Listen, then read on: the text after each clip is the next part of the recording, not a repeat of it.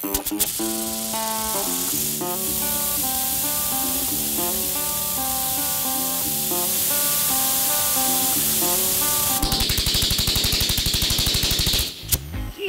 Christ!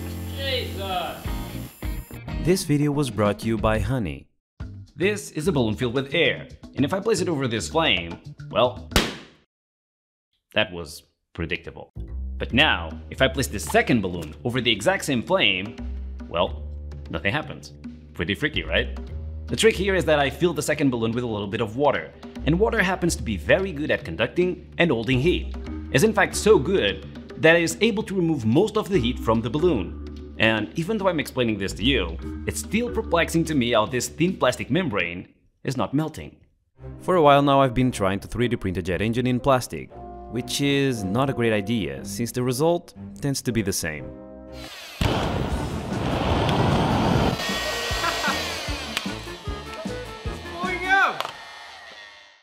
But what if with some clever design I was able to use water to cool the engines and thus make them not melt? Just like this balloon. So, this is my very simple idea. I want to 3D print a combustion chamber with a hollow space all around it, so I can pump water through it. Then I'm gonna inject butane gas and air into the combustion chamber and use a spark plug to ignite everything. If this works as well as it did for the balloon, well, the engine should survive. So let's 3D print it, because this is just half of it.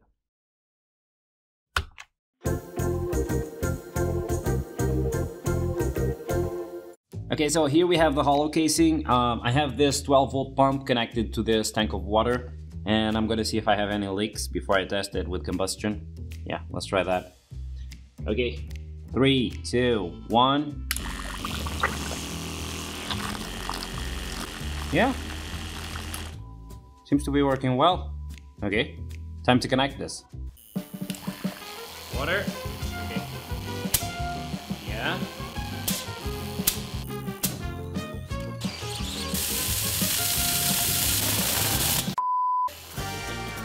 We have leaks. Oh god. But it worked! We have a leak here, or something like that, at the base, where it's not protected by the water. But all the rest of the engine, even the nozzle, I mean, the little hole that is here, um, is doing pretty well. I think this is this might actually work. Yeah. Okay, so what happened is uh, it overheated. Did you see there? It cracked. Yeah, it cracked there, and it started to burn all around. It was a pretty cool show though. I just need to redesign this and try to find another way to do this. Maybe this this inner wall is just too thin, or or maybe I need more water or something like that. I need to try new designs. Yeah. Let's get cracking. By the way, um, I'm using this resin 3D printer to get my models. They use this purple light to sinter the layers and thus get the 3D part. Hello my friends, here we are for another test. Uh, so this is the new design, as a slightly shorter uh, combustion chamber and new diffuser. I think the new diffuser is gonna work pretty well. Also the ignition now is not using a spark plug, it's just using two rods which go into the center of the combustion chamber.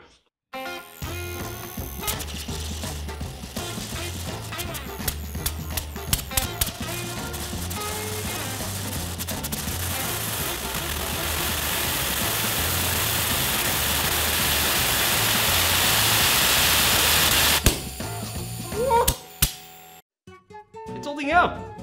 Look! Even the nozzle! Even the nozzle is doing pretty well. Oh, but the diffu- okay. So Houston, we got a problem.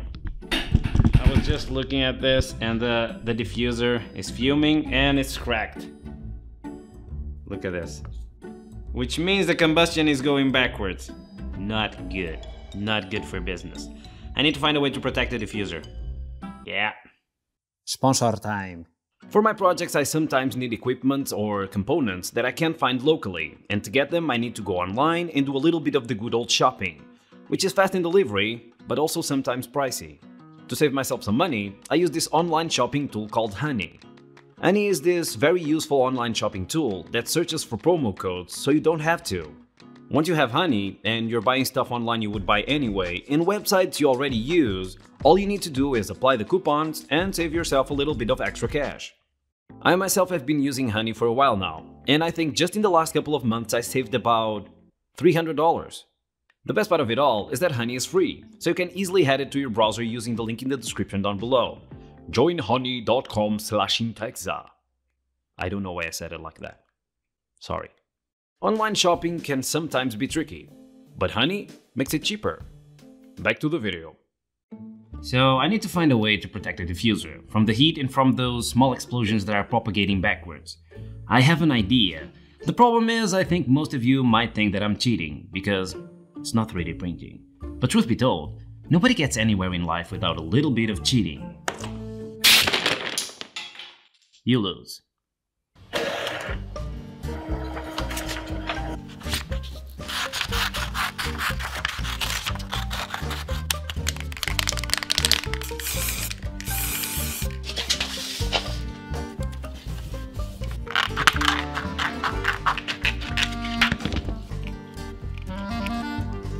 The big boy again.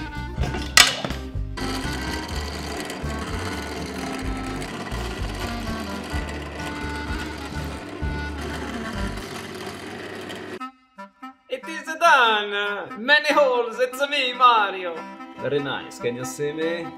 You cannot. Filter time! Hello. Okay, so the general idea here is basically I 3D printed the same parts. Is that a nut?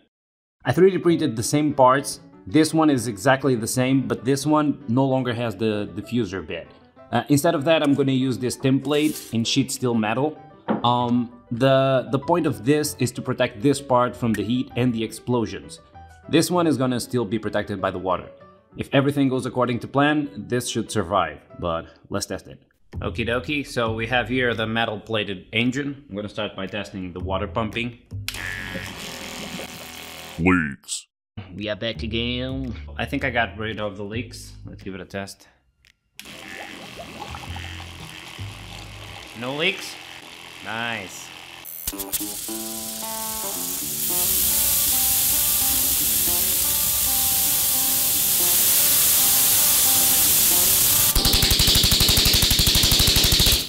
Jesus Christ! Jesus! Oh no, it broke again. It broke again! Look at this. It's too powerful. The explosions are propagating backwards and basically they are destroying the diffuser. Maybe I just need to build a more bulky one?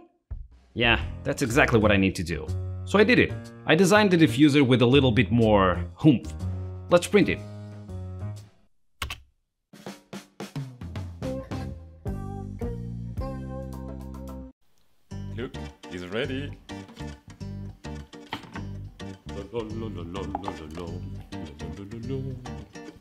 Oh yeah! Here you go. You that. So as you can see, I made the part a little bit stronger by making it thicker. I did a, a fillet here, and I also added these ribs. So hopefully the explosions that happen when I'm trying to start the ignition are not gonna destroy this one. Well, let's give it a test. I'm gonna assemble the engine now.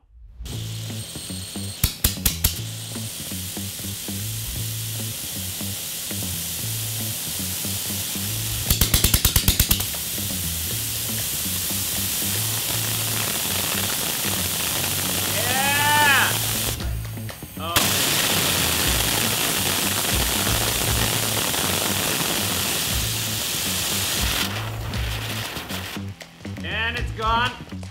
I think we still have problems with uh with the cooling. Okay, so this is what happened on the inside. As you can see, it completely broke. You can see the hollow part now. I think I need to find another solution for the inside.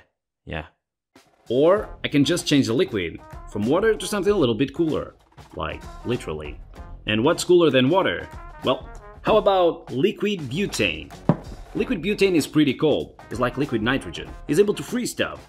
And the cool thing about liquid butane is that to get it, the only thing that I really need to do is turn the can upside down. As you can see, the main idea here is I have these channels which are connected to this entrance here where I'm gonna place the, the inlet for the fuel. But if I test it with a little bit of alcohol, you can see that the alcohol is gonna go through the interior channels, through these ones, down. Yeah. it's working pretty well.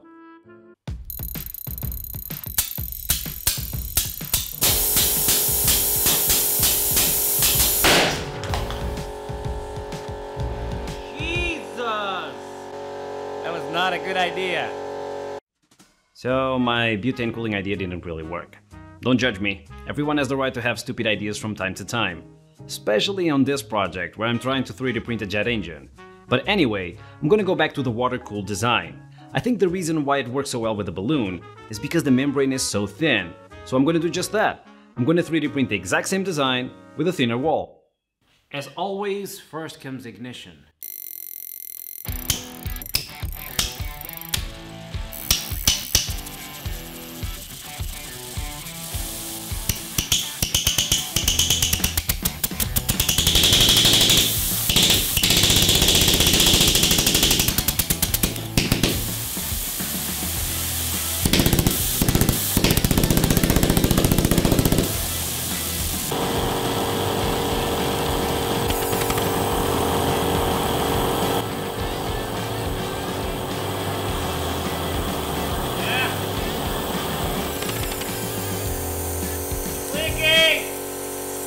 So, I know the engine failed, per se, it got a leak, but you have no idea how hot this is. Like, and it's still in one piece. I mean, you have some leaks here in the joint where the metal got hot, but still, the chamber, the combustion chamber, is intact. Yeah, that's that's amazing. I mean, it works.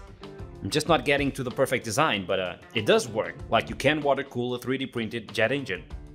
I knew it. I knew it. Look at this right? This part where the, the metal diaphragm is in contact with, all burnt, but inside, almost nothing. How cool is that?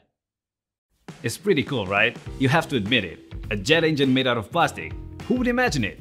I mean, technically speaking, it's not plastic, it's resin, but still, pretty amazing. In the end, my engine was not perfect. I mean, it melted. But that's the exact reason why I like to have a YouTube channel because there's a lot of people out there that are smarter than me and might just be able to perfect this. So if you're interested, you can find the 3D models in the description of the video. If you do have an idea to improve on the design, but you don't have a 3D printer, I can help with that. On my last video I gave away two 3D printers to comments suggesting a theme for a future video. The winners were Brad Smith and BZD. If you also want to win a 3D printer, all you need to do is subscribe to the channel, leave a like on this video, and post a comment suggesting a theme for a future video the most liked comment will receive a brand new 3D printer. Well, um, this is everything for today. Thank you so much for watching, and remember, tomatoes are disgusting. See ya! Balloon with a little bit of water. And water!